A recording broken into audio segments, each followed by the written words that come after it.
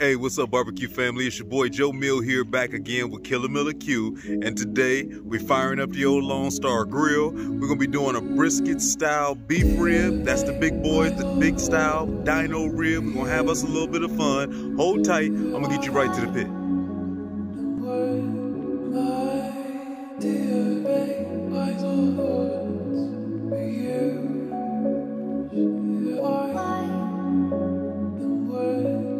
So here we go. Here go the product. We got a beautiful. Hopefully you don't get too much of my shadow on here. A beautiful looking uh, beef uh, plate rib here. Uh, pretty much, and I'm gonna check out. Look at this. Look at this marbling we got right here. This is something I'm looking for. When I'm picking out these things, I like to try to make sure that they are nice and even on both sides. Because sometimes you can get one side is way lower. Make sure the fat on there isn't too uneven or way too thick on one side or another. And then, like always, first and foremost, I'm trying to check out some of that marbling, which you can see looks beautiful on this one here. Um, not a whole lot to do to these things. They always got a nice thick, and I see a nice little gouge here uh, which isn't a big deal. Um, some people might like to score this. Some people take it off. I actually leave it on when I'm doing beef ribs just because uh, by the end of this thing, they get a little flimsy. This is going to be the last protector to kind of hold on to a little something. Can always get it off later. If you score it, it'll pretty much break down to a little bit of nothing, but uh, I'm going to leave it pretty much intact, minus that gouge. I got this from my local butcher. Big shout out to Allison over there at uh, well, let me make sure I make sure I get it right uh, before I actually throw out that name. But uh, my local butcher, my girl Allison, hooked me up. Um, one thing that I am going to do is I do want to take down this layer of fat that I got here. And then I also, you see, it's a little bit of this silver skin, hence why you can see why it's called silver skin. Almost looks like a fish skin or something like that. I'm going to try to bring that down so I can almost get down to meat level. That's going to help me get a nice bark throughout. Today we're to be making this thing real simple. I'm going on the rack the whole time. So I do want to give me a great looking bar, get this thing nice and dark. So first and foremost, I got my uh, boning knife here. I'm about to dig into this, try to take off this thin stuff. And uh, I'll bring you back, let you see what that looks like before we actually get it seasoned up. All right, so we got it cleaned up. As you can see, I uh, exposed some of that back. You still see some of those little pieces of silver skin in there a little bit. Uh, you can see a little bit on this ridge right here. You got to be careful though. If you chase this thing too much, man, we'll pull this thing apart. I'll break it all the way down to the bone. You see how much thinner it got here on this side as I kind of broke down this fat layer that was sitting here. But in general, everything that I took off, as you can see, just take your time with it. Don't rush. Uh, it's all fat. This is all stuff that I didn't necessarily want like I said, I can easily, and maybe I will, just for some fun today. Normally I would go ahead and use some tallow, but uh, since we got it right here, let's go ahead and we're gonna break this down. Just like we do with some tallow, so we're gonna be using this later on to kind of oint this thing. So I got this already set up now, it's already cleaned up. We're gonna get into the rub that I'm gonna be using. Uh, as you can see, I'm just using one of my old cans that I already have. This is my Aaron Franklin-ish rub, and I'm gonna say is just because for a fact we don't know. But uh, following um, the meat scientists uh, uh, that uh, many of you probably already know, he kind of went through that story with John Lewis and uh, him sliding off and doing his own thing and kind of the real recipe that he used. I've used this before. It's an amazing uh, rub on a brisket. The last time that we did some beef rub or uh, beef ribs, we used uh, Meat Church's Holy Cow rub, which I actually like a lot on beef. But uh, I think this one also will go great. Basically, if you can't see it here with this glare I might have from the sun, it's pretty nice out here. You got eight parts of pepper, three parts of Lawry, three parts of kosher salt, and then one part of garlic pepper or garlic powder. I'll repeat that. Eight parts of garlic pepper, three parts of Lawry seasoning salt, three parts of kosher salt, and then one part of garlic powder. And with garlic powder, I like to use granulated garlic. It's a little bit thicker as far as the uh, granule. Um, basically, you're going to be mixing all that up. If you don't know, a part is any equal measure. I can use a cup and make that a part uh, which would be a lot of rub if you did that. I could use a half a cup. I could use a tablespoon, whatever you want. It's an equal part, and then just follow that recipe as follows. Regardless, this is a pretty damn good rub right here that we're gonna be throwing over here on this uh, beef plate rib. Like I told you before, I did not get rid of the membrane. We leaving that. We're gonna turn around, make us a little bit of tallow-ish, shall we call this? This is not necessarily brisket, but uh, we're gonna get us some grease to be able to relather this thing with its own natural juices. I'm going no binder. We're going no wrap. We're gonna keep this thing nice and natural. Let me season up all sides. I'll show you what that's gonna look like. And there it is. Done too crazy. Nice and pretty. So keep in mind, thick cut of meat, it can handle a lot of rub. Now that rub that we just went over, not only does it have kosher salt in it, hopefully you can get a good view. Um, not only does it got kosher salt in there, but you also got seasoning salt. So don't want to make this thing too uh, salty if you're going to be using this rub. Obviously, you can do this beef rib with anything you want. I thought about just going straight AP, just some heavy on the pepper, some salt, and a little bit of garlic, and just going like that. Regardless, you ain't to come out wrong as long as we cook this thing right. So one way or another, I didn't want to over salt it definitely made sure I got me a nice crust on here so we can get to a nice bark and then just rub it around, let it get everything up off your board. I'm gonna let this hang out for just a second. Um, this rub is not gonna sit on here this long because I'm ready to go. My Lone Star is damn near up to temp, but uh, I am a little bit hot, so I'm gonna let it chill out and then we're gonna slide this on. All right, as you can see, we on deck now. We got us up to about 250. I just had this baby open. We got them beef ribs on, sitting pretty. Keep in mind, just like a regular rib, form those babies up a little bit. Make sure that they sit the way you want them to. This tallow won't take too long, but uh, we're gonna go ahead and get this out the way because I do need to cook me a little something for the week. So I'm gonna get that over there towards the hot spot. Uh, plan for the day, I'm rolling along at roughly about 250.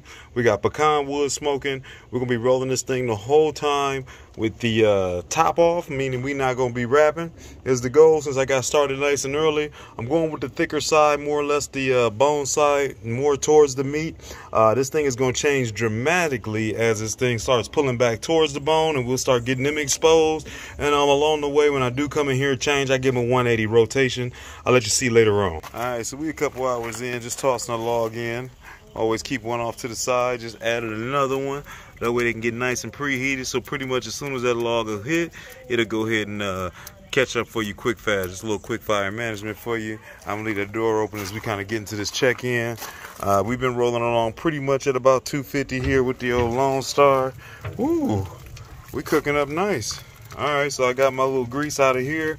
I know I'm not gonna get every bit of that, so that's probably gonna be good. I'll yank that out of there and kind of strain that. And uh, you can see we got that pullback going. This is looking nice and pretty already. After just a couple hours, I'm gonna give it a full 180 rotation. And uh, I'm not gonna spritz or anything. I'm gonna let this bark keep on developing, looking good. And we're gonna go from there.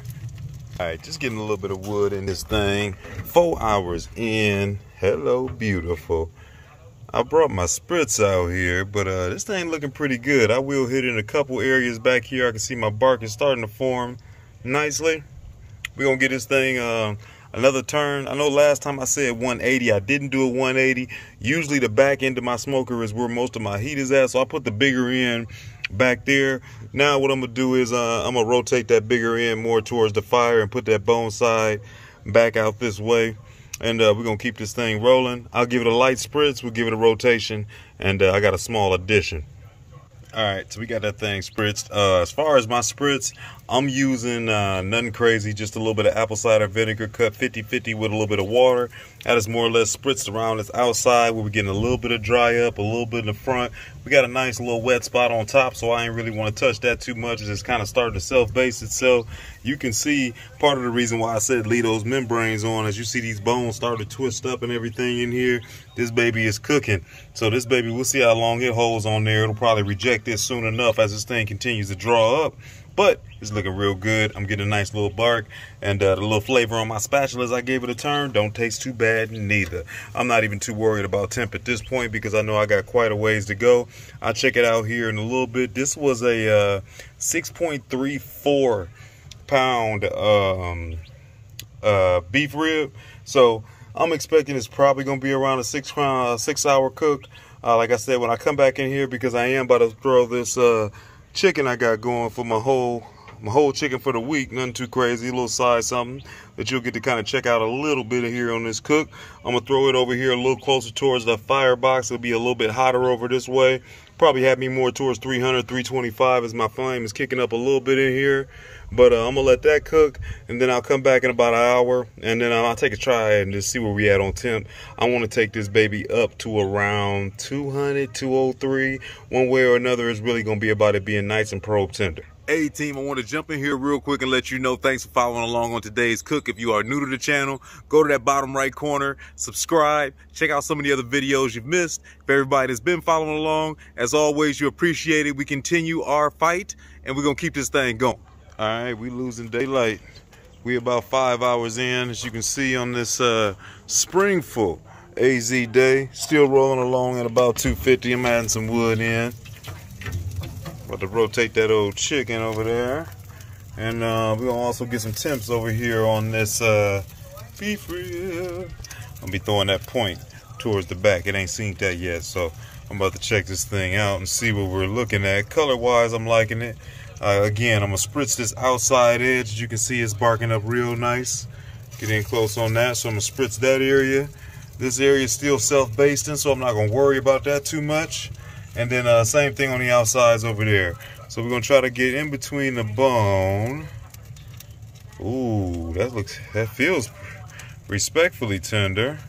But 175, so don't let it fool you. Cause it'll tighten back up. Let's try another area. Wow, it's getting there. I tell you what, 191 over there, it's getting there. That don't feel bad at all. Try right in the top. 175, 176. All right, we working well. I was expecting this to be roughly about a six hours uh, cook, something like that. Like I said, this was 6.34. We did trim a little bit off, so at least six of them. We're going at about 250. Bonus cook, rotate my chicken, give it a little uh, spritz of some olive oil, let it keep on going. And then uh, we'll come back and check on this a little bit later. Let me spritz it down. All right, there we go on the flip, just so you can check out the other side good looking piece of meat, I tell you that. It had that beautiful marble in the front or in the beginning. Ain't too much you can do when it starts to draw up on you other than try to rotate it to maybe uh, make it cook a little bit more evenly, but that's gonna happen. So I'm not too worried because I already gonna know that that little part right there, that angle is gonna be mine, and then we're gonna make two big baby uh, uh, ribs to kind of play with later on. I like the idea.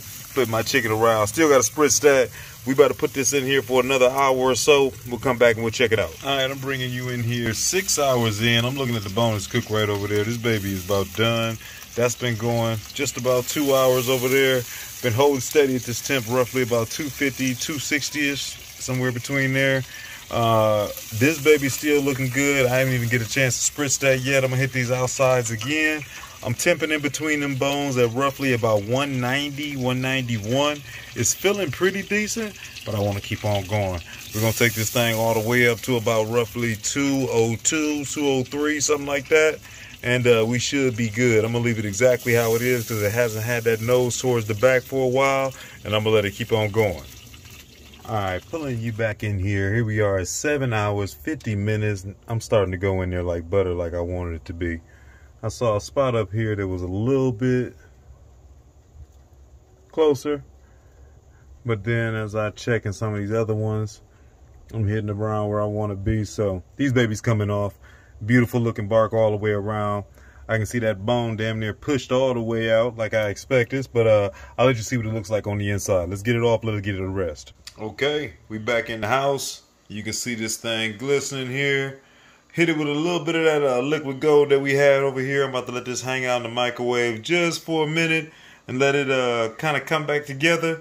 Grab my cutting board as you see and grab my knife and then we're going to chop into this thing.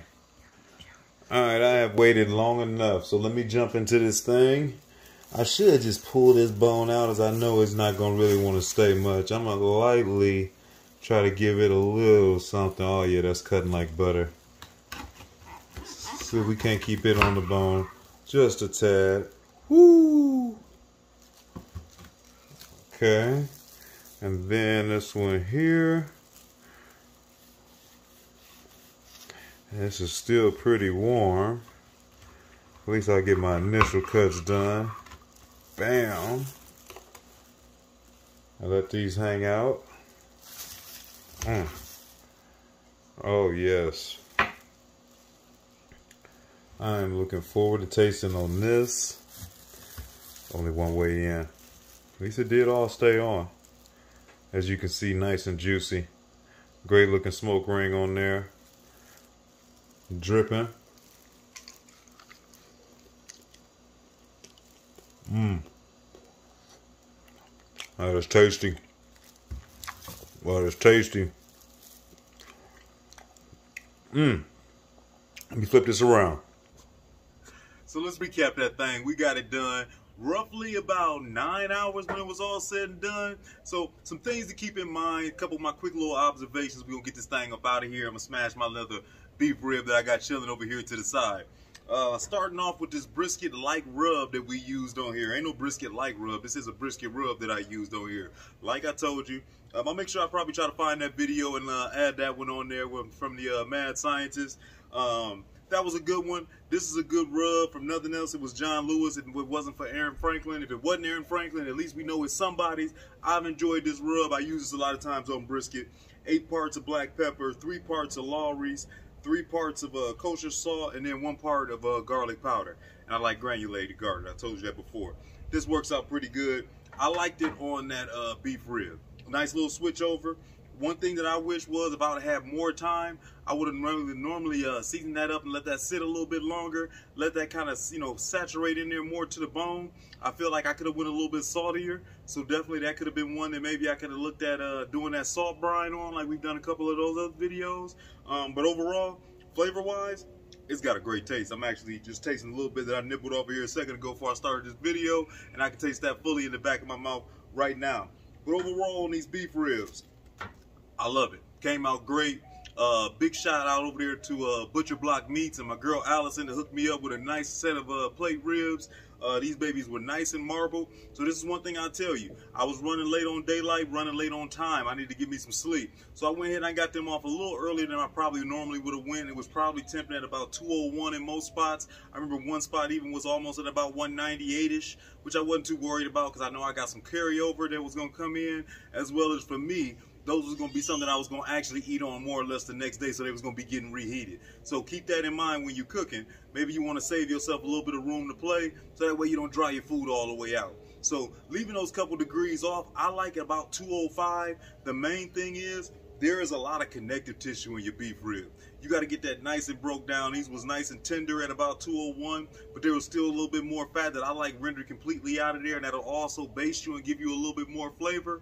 As I warm them up, as you can see, I use a nice little single piece of uh, foil once I've already kind of wrapped them up, and then put them back in there. And if you need to, you can always glaze them with a little bit of that tallow that we made from the uh, fat. Then warm those babies up. Let me tell you, you'll notice the difference these things was scrumdiddlyumptious. This was another good cook. We still working out here. I still got me some ribs to go, but I do got to get up out of here. So I'm going to catch y'all next week. I appreciate y'all for kicking with me like normal. Shouts out to the family, my boys over there at Black Smoke Barbecue, and everybody else out there in TV land. One time. Peace.